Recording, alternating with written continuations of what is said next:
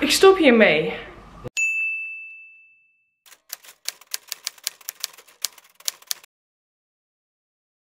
Goedemorgen, het is donderdag en Tuur die heeft bedacht dat hij om 6 uur het schoolplein gaat verven. Dus het is nu tien voor half zes. En we zijn ontbijt aan het maken. Of nou ja, op dit moment is vooral Tuur ontbijt aan het maken. Ehm, ik kan natuurlijk in bed kunnen blijven liggen. Maar ik weet zeker dat als ik om 6 uur aan het werk zou zijn gegaan, dat Tuur voor mij ook zo vroeg was opgestaan. Oh, dat eens. Nee, maar het is ook wel beter. Misschien dan heb ik wat meer de tijd voor mijn dingen vandaag. Ik ehm, kan ieder uurtje goed gebruiken. Misschien heb ik dan vandaag wel tijd om hard te lopen. Maar het is natuurlijk... Kan ik vandaag dan wel tijd maken om hard te lopen? Dat is het verhaal. Hmm. Kan ik vandaag wel tijd maken om hard te lopen? Ja, dat is waar. Hoe vroeg je ook naar je werk gaat, ontbijten is altijd prio 1. Ik ben lekker in bed aan het werken. Ik ben mijn vlog aan het editen en ehm, nieuwe inschrijvingen aan het verwerken. Voor degenen die geen bevestiging hebben ontvangen. Niemand heeft een bevestiging ontvangen. Want ehm, die ga ik tegelijk sturen met de betaallink. Maar voordat ik die betaallink stuur heb ik de algemene voorwaarden nodig. En voordat ik de algemene voorwaarden heb, moet ik alles... Nou, daar ben ik gewoon lang mee bezig. Ik moet gewoon... Het stelt uiteindelijk niet zo heel veel voor, hopelijk. Want ik wil daar echt niet een heel lang, lang iets van maken. Maar ik wil wel zorgen dat ik alles vermeld heb. Dus dat kost even wat tijd. En dat is het eigenlijk. Oh ja, en ik wacht nog op iets van Runnerswild. Maar dat hoop ik ook vandaag te krijgen. Ja, ik ben wel echt heel blij dat ik op dit tijdstip al zo productief ben. Ik kreeg van mijn ouders een eh, doosje met truffels. En ik dacht dus van, nou oké, leuk. Waarom doen jullie alsof het zo bijzonder is? Maar ze zijn echt zo lekker. Of nou ja, ik kan beter zeggen, ze waren heel erg lekker. Ik heb er net acht achter elkaar op. en nu heb ik niks meer. En ik denk dat ik maar ga hardlopen. Dan kan ik me daarna eindelijk aankleden. Het gaat eindelijk gebeuren. Going out. Kijk hoor, het is tien over half twaalf. Kwart over vijf werd ik wakker. Dus ik ben al 6,5 uur wakker, ja. Ja. Ah, je hebt wel nuttige dingen gedaan, toch? Dat wel, ja. Ik denk dat ik bijna klaar ben met de algemene voorwaarden. Maar ik ga hem straks na het lopen nog een keer doorlezen voordat ik hem ga versturen. Praat ik heel hard nu? Mm, ja, ja, iets harder dan normaal. Ik heb muziek op. Het is super lekker hardlopen weer. Goede temperatuur. Voor hardlopen dan. Voor een terrasje is het een beetje koud. Maar de terrasjes zijn toch gesloten.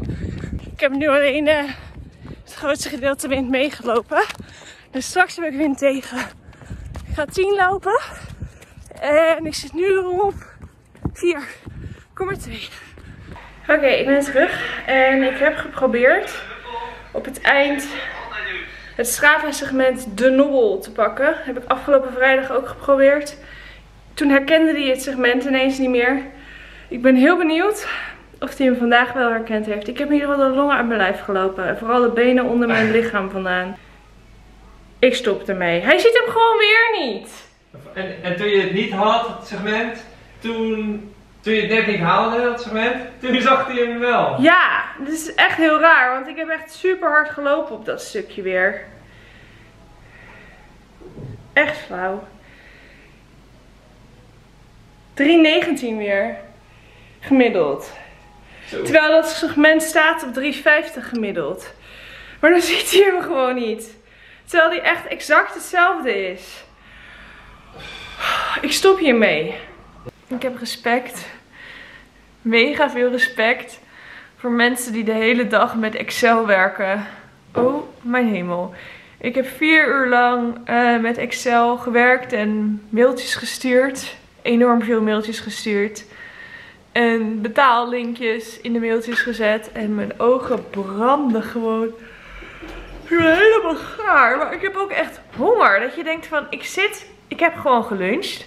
Ik zit alleen maar achter mijn bureau. Maar mijn maag rommelt. Niet normaal. Je hebt wel 10 kilometer gelopen, toch? Ja, maar daarna heb ik toch gewoon geluncht? Ja. Hoe lang ben je, ben je al, ook al super lang wakker? Zo, 12,5 uur. Oh. Tuur, ik kan me niet herinneren wanneer ik voor het laatst zoveel honger heb gehad. Ik ga eten. Het is 14 mei, twee dagen na mijn verjaardag. En ik ben nog steeds jarig, want er is nog steeds ijs. Martino. Tuur en ik waren eigenlijk te kapot om nog een vraaguurtje te doen. Vraaguurtje, vragen, vragenrondje. Maar toen kregen we een mail van Jan Willem. En die zei dat hij onze vlog zo leuk vond. En dat hij altijd samen met zijn vriendin Foekje keek. Dus dit vragenrondje is speciaal voor Foekje en Jan Willem. Nu hoop ik wel dat ze dat een leuk gedeelte van de vlog vinden. Want misschien vinden ze dat juist wel het minst leuke van de hele vlog. En dan gaan wij nu speciaal een vragenrondje opnemen. Maar goed, als een van ons niet uit onze woorden komt of um, een beetje moe oogt, dan hebben we alvast gewaarschuwd. Je mag ook nu de vlog uitzetten. Klopt het dat Laura Breide ook sportrustenschema heeft gebruikt? Vraagt Madelon Zamslied. Dat klopt inderdaad. Laura heeft wel in de voorbereiding een halve marathon gelopen. Dus die heeft niet exact het schema gevolgd. Maar wel um, dus een halve marathon gelopen. Maar voor de rest heeft ze het wel gewoon gevolgd. En ze heeft super goed gelopen in New York tijdens de marathon. Dus nogmaals, ik zeg niet dat het een slecht schema is. Het is alleen niet voor mij. Um, Nathalie van Rijsberg zegt. Hoi Annemerel, ik vroeg me af of je nooit terughoudend of bang bent om als vrouw alleen te gaan lopen. En dan zeker over grotere afstanden. Ik las bij een andere loopster dat ze een keer was lastiggevallen en sindsdien met een speciale zelfverdedigingsarmband loopt. Deze zou een ondraaglijke geur verspreiden bij het activeren ervan. Toch zou ik me hierdoor niet echt veilig voelen. Ik neem altijd mijn gsm mee als ik ga lopen, maar dan nog lijkt het me niet eenvoudig om tijdig actie te ondernemen. Het, wordt, het zit waarschijnlijk allemaal een beetje in mijn hoofd. En de kans is natuurlijk klein dat er echt iets zou gebeuren. Maar af en toe gaat de gedachte door mijn hoofd. Net als bij vele andere vrouwen waarschijnlijk. Uh, ja, ik, uh, ik snap dat. Wij wonen in de stad.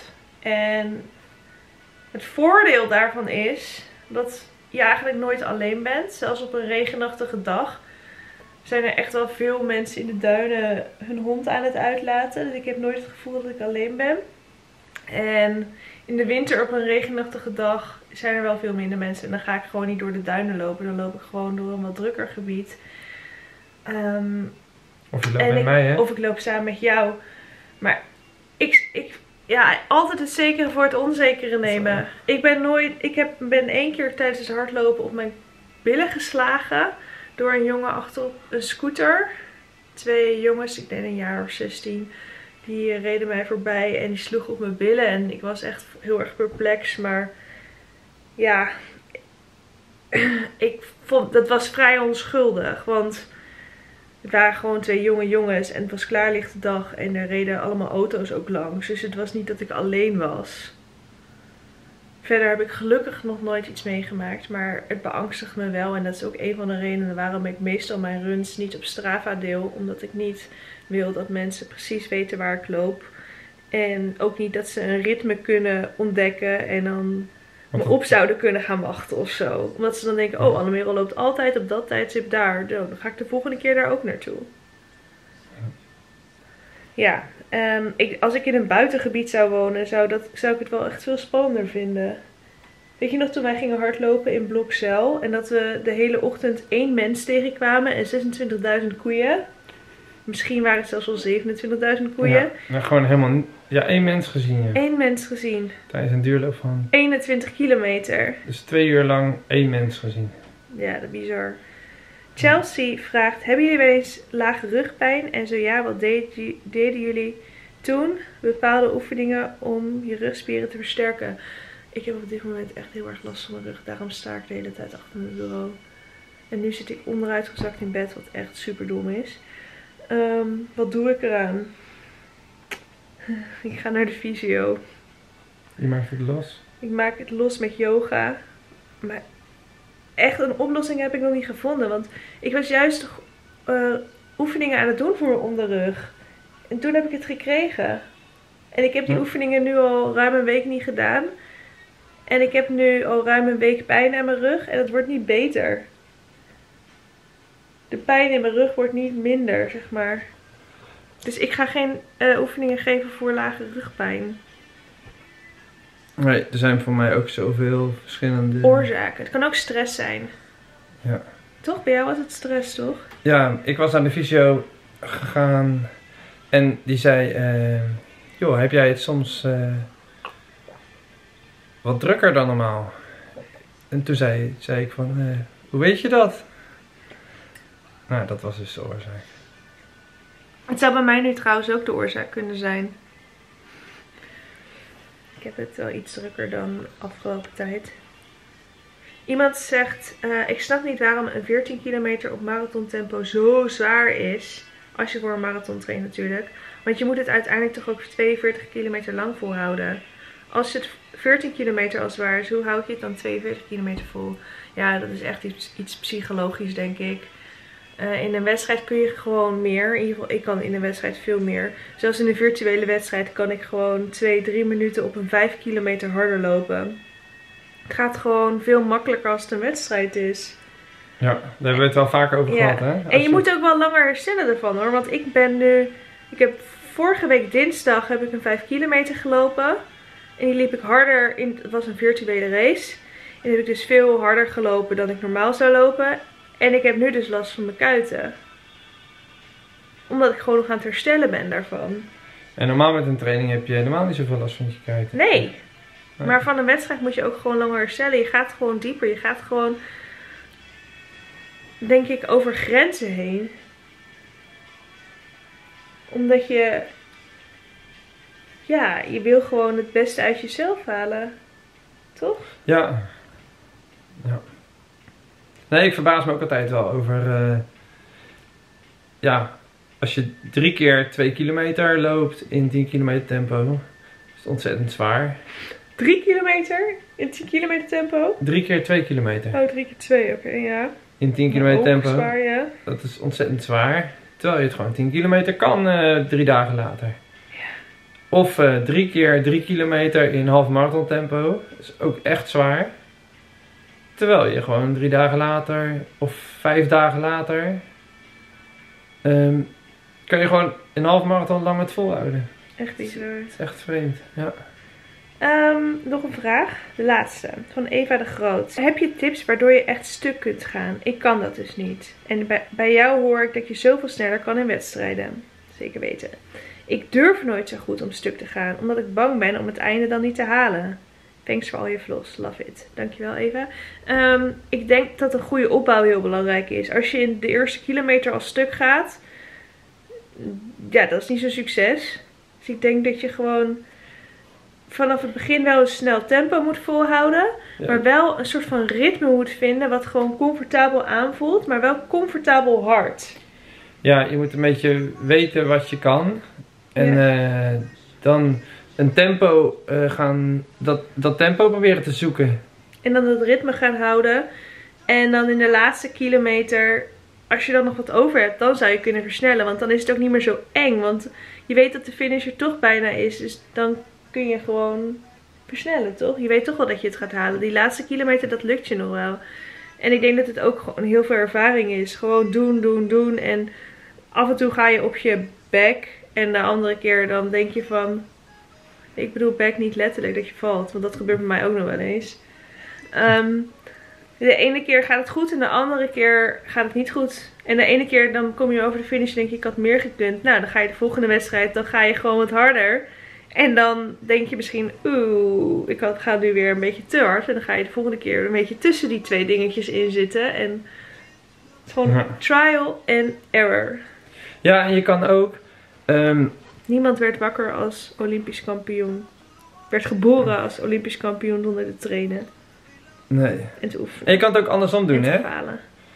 Ehm, dus als jij, ehm, als het jou lukt in een training om eh eh, 7 keer 1000 te doen in een bepaalde tijd met 2 minuten pauze, dan kan je er wel van uitgaan dat je dat gewoon echt 10 kilometer vol kan houden in een wedstrijd. Dus dan moet je gewoon dat tempo proberen te zoeken in die wedstrijd. Zeg maar andersom gedacht. Ja.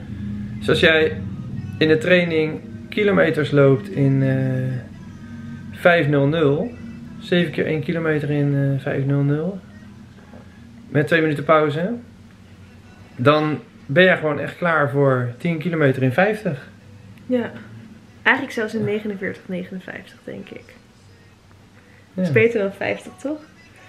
Oké, zullen we het hierbij houden? Ik krijg namelijk weer allemaal mailtjes binnen en ik wil ze nog even gaan beantwoorden voordat ik kan gaan slapen. Ik heb echt totaal geen aandacht gekregen van Anne Merel sinds ik thuis ben. Ja, maar dat vinden mensen helemaal niet leuk om te horen. Dan Ja. vinden ze dat zielig voor jou. Nee, maar ik ben... Oh, ik heb jou wel eens een kusje en een knuffeltje Oh, echt? gegeven. Oeh, yeah. nee, Oké, sluit Maar jij ik- ik- ik wil wel- ik maar wil zeggen dat jij... eh, hard bezig bent. Nee, dat je goed bent voor je volgers. Hoezo? Nou, die hebben ontzettend veel vragen. Ja. Eh, en ehm, Het is logisch dat je die beantwoordt. ja, en je neemt echt de tijd ervoor, vind ik. En je beantwoordt ze gewoon allemaal. Eh, en dat vind ik wel echt eh, top van jou. Hmm, dit knip ik eruit. Dankjewel voor het kijken en tot morgen bij weer een nieuwe vlog. Die wederom om kwart over vijf start. Want Tuur heeft het voor elkaar gekregen dat hij morgen weer om zes uur mag werken. Yay!